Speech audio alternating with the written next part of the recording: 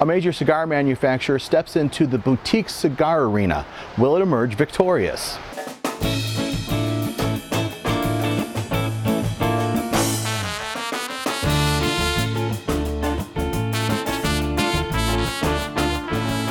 I'm Bob Woods, publisher and managing editor of Stogied, as well as National Cigar Examiner at examiner.com. And you've got it dialed into the only weekly video cigar review show that has my ugly mug on it, the Stogied Video Cigar Review. Today we are going to um, we're going to review another cigar that has been nominated by a uh, reader of Stogied uh, through Twitter. That's actually part of one of two contests that we're running right now, but we'll get to that a little later in the show. But for now, uh, this week's winner is Anthony Lund. He is uh, Taj Lund, T-A-J Lund. I don't even know if you can even pronounce that one out loud. But anyhow, Anthony, here's your nomination. It's the Altadis Warlock, a nice Maduro looking stick. It's a, uh, the one that we're reviewing rather, is a Toro 6 inches by 54 ring gauge. Its origin is Nicaragua. The filler is Nicaraguan and Dominican with the binder on Nicaragua. The wrapper is Ecuadorian Cubano. Uh, we paid about $8.50 for it at Davidus Cigars, uh, this time up in Ellicott City, Maryland. The Warlock is made by well-known Nicaraguan cigar maker Omar Ortez for Altadis USA. Now, uh, I got to read you some of the ad copy here. Uh, I've got it scripted just because it's uh, it's that good. And uh, in some of the recent ads, Altadis calls the Warlock an exotic, fuller-bodied stick that's devilishly good, and that connoisseurs of robust rustic smokes will be left spellbound by Warlock's powerfully intoxicating flavor definitely sounds like that uh, Altadis' Mad Men might have been hitting the intoxicants a little bit when they wrote that, if you know what I mean. But anyhow, no matter what, we are going to uh, try the stick out and see if it lives up not only to the uh, ad copy, but to the hype that has surrounded it.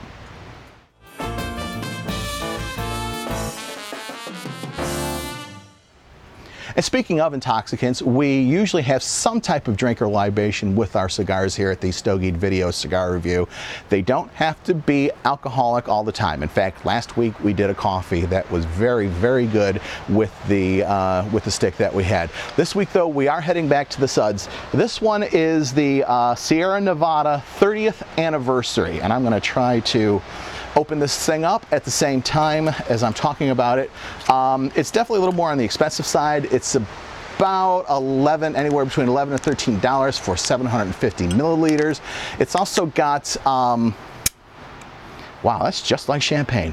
It's also got uh, a little over 9% alcohol, which is a little more than your standard beers. You don't really notice the alcohol though, except for a little bit on the finish. I actually tried it yesterday, so uh, this isn't a uh, this isn't a uh, virgin uh, tasting for me. Anyhow, I really liked it too. It's got notes of, um, of chocolate and cocoa. I'm sorry, chocolate and cocoa are the same thing. Uh, more like chocolate and coffee getting a little bit of licorice too off of it. And then when you taste it, Yeah, just like it was yesterday. Uh, definitely a bit more uh, coffee and uh, if you like bitter chocolate, you know, the really dark, extra, extra dark chocolate, you're definitely going to like this stuff as well. If you like uh, milk chocolate, maybe not so much. Um, this beer is a bit like a cigar actually in that it's made out of Sierra Nevada's Oakey Bigfoot beer, uh, their Celebration Ale, which if you've had that is very good, and some of their fresh pale ale. They've actually hopped that up a little extra and it's the way, the reason why I say it's like a cigar is because it's like wrapper, binder, and filler. There's three different elements, you know, going in to make one great beer. So uh, we're gonna have this with our, uh, with our Warlock. And by the way, uh, this was suggested by our good friends at uh, I Am Wine in the Maple Lawn Development in Fulton, Maryland. Uh, great bunch of guys there, and uh, that's where me and the wife go all the time. It's our go-to place for wine, beer, and spirits. So with that, we're gonna get on to the actual cigar review.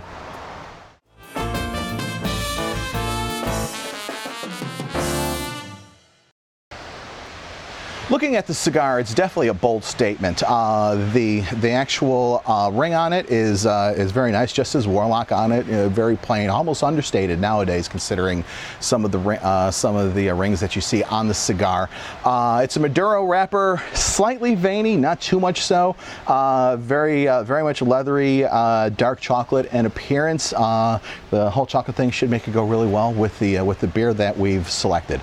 So in terms of aesthetics, we're definitely going going to give it a 4.4. Uh, you look at this on the shelf and you're going to want to smoke it. Construction wise, it's a very solid stick. Uh, nicely made, it's got a firm feel, nothing rough, nothing mushy or anything like that. Uh, the cap is definitely on flush and secure. Uh, you know, it's just what you'd expect from an Omar Ortez cigar uh, that's commissioned by a giant like Altadis who has a lot of money to throw around to do it right when it comes to a cigar. Um, also, uh, I can understand why this is making a, a uh, splash in the boutique cigar category. So in terms of construction as well, well, we're going to give this puppy a very, very solid 4.4. Pre-burn time, new lighter, triple torch. Let's fire this puppy up. Oh, the triple torch. It's got a woody scent, a little bit of leather as well. Uh, very tasty, and we're just gonna say it's mm, mm, good and God, I hope that isn't trademarked. One thing I am doing with these uh, holiday contest selections that I've been making based on your nominations is that I've been trying cigars that um, I haven't actually had myself yet. So each one of these is definitely a new experience when I'm having them on camera with you. With everything that I've seen and read about it so far, I'm definitely looking forward to it. So let's do it.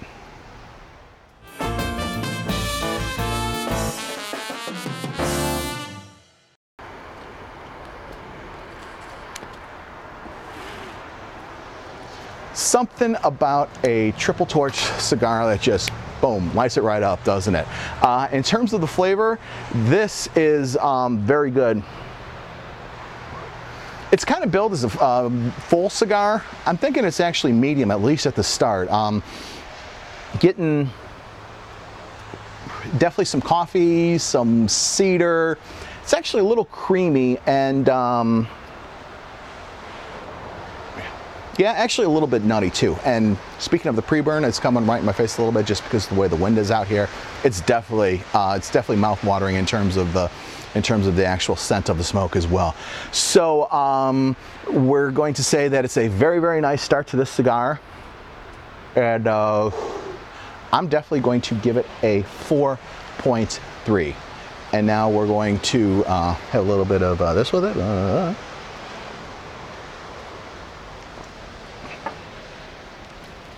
Oh yeah, that pairs very well with it. In fact, with wow, with the cigar, I'm actually getting a little more of the IPA flavor that I wasn't getting before, considering that two thirds of the, well, actually maybe all of it's kind of IPA based. I'm definitely getting a bit more hops out of the beer as well. Uh, if you like IPAs, you like hoppy beer, you're definitely gonna like this combination.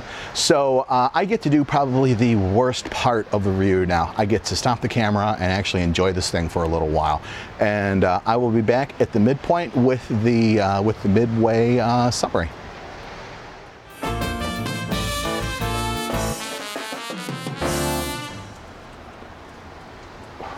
Wow. A really good cigar, a really good beer. Tom Clancy on the Kindle and uh, Lithium is in the lithium channel on uh, Sirius XM. And uh, it's been a really good afternoon so far, uh, very much enhanced by the cigar, which is turning out to be very good. It's um, started out, I'd say, a little more medium. Don't remember if I mentioned that, thanks to the beer probably. But um, it's definitely turning into more of a full stick. And um, speaking of beer, it's excellent and everything else, but I almost wish I was drinking coffee right now because uh, the coffee is really getting pronounced in terms of flavor here. Um, there's actually a little bit of sweetness coming on. I don't know if that's because of the beer or not, but it's, it's definitely just a slight undercurrent of sweetness. Uh, there's still a little bit of chocolate there too, so it's kind of coffee slash mocha, but more uh, coffee than chocolate. So uh, a coffee would actually pair excellent uh, with this stick. You know, definitely a, uh, a more fuller flavored coffee with this because uh, a lighter coffee is just going to get blown away by this stick. So um, liking it so much that I'm going to give it a 4.5 at the midway point. And um, hang on, we're just going to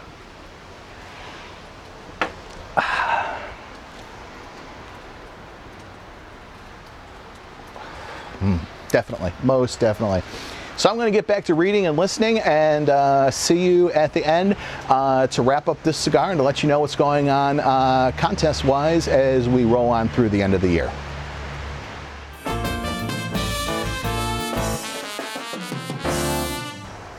It's time to wrap up the Warlock by Altadis here. Uh, the sweetness, it's gone as I kind of thought it would be actually. Um, Some of the uh, some of the cedar slash wood and a little bit of nuttiest nuttiness rather is back. Nuttiness, but um, it definitely still has the uh, the major coffee going on. It's definitely still full flavored and um, a very very very good stick. So when it comes to the uh, end in terms of flavor, we're definitely going to rate it another 4.4. Fantastic stick, and um, everything is all good for it. In terms of the whole finger burner thing, um, this is definitely a nubbable cigar, if that's even a word, but um, it's not getting harsh as you get down to the end. The, uh, the flavor definitely carries through. So, um, you know, if, if, you like the full body and you like to get as much of a, uh, as much out of a cigar as possible, this one is most definitely a finger burner. You're going to enjoy it all the way down to the end. So let's average out the ratings now. Don't even need a calculator for this one. Uh, this one comes in right at a 4.4. Very, very good stick. But the question now is, is it worth it? Because you can get a 4.4 uh, stick, and if it's you know priced at 30 $40, if it's something that you're not normally going to smoke any day, you know it may not necessarily be a thumbs up stick. But uh, combining the 4.4 with the um, with the taste and the price and everything, uh, we're definitely going to give this one a thumbs up. If uh, 850 isn't too much to uh, to go out and invest even in just a couple of sticks for you, then you're definitely going to get a lot of enjoyment out of this. Definitely a thumbs up. Now that being said, if you're a fan of lighter tasting uh, cigars like Macanudo or something like that, and believe me, there's nothing wrong with lighter tasting sticks. In fact, I like them a lot too. It's just that, you know, it's winter here, it's definitely cooler, definitely uh, in terms of the uh, weather conditions lends itself the the taste that we're doing lends itself to a uh, heavier tasting cigars to just kind of you know warm up the insides basically. Uh, that's why we're doing a lot of heavier cigars. So. Um, if you're if you're a lighter stick fan, this isn't uh, this isn't the one for you. But if you like fuller flavor, medium flavors to fuller flavors, or you're like me, you like one that starts medium and then as you get into it, it uh, it gets even more fully flavored and just gets better. Then um, then the Warlock from Altadis is most definitely the stick for you. I would highly recommend it.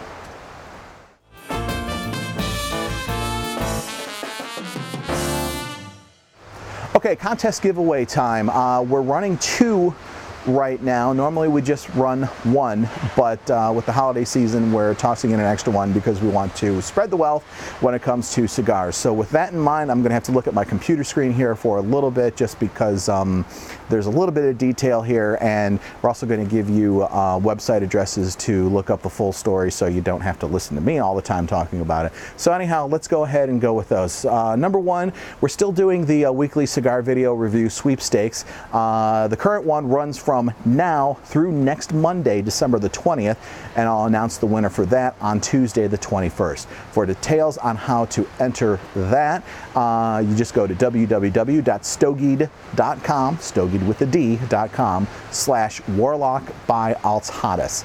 That will give you the details on how to enter this week's contest. Very simple, just involves uh, you tweeting out a uh, very simple statement. Uh, you can enter as many times as you want. I draw those from an old cigar box, and whoever wins just wins basically. It's a beautiful thing. Wow, I can't put this down for the holiday contest, what you need to do is you need to nominate a cigar that you want me to review. That's how Anthony is getting two Warlocks this week. We're currently in round three, which runs through this Friday, December the 17th. A new round starts on Saturday, December the 18th. I'll announce the winner for the round that we're currently in on Tuesday, the 21st, when the review for the cigar I pick from this current one runs that day. And you know, I know it's a little bit confusing, but it's all spelled out at www.stogied.com slash holiday contest three with the number three at the end. So again, it's www.stogied.com slash holiday contest number three. Well, I wish I could tell you what I was reviewing next week, but uh, we're waiting for all of the nominations to come in and I will pick the best one and smoke it for you next week. So until then, I'm Bob Woods from Stogied and Examiner.com, hoping that if you enjoy cigars, that you're able to torch them up, puff, and rotate as often as you want. Have a good week.